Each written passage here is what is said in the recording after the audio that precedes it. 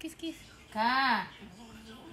Mokilom mama mama mama suka rek. Ganteng rek. Wih, sombong dia sombong. Yang tolong ngobrol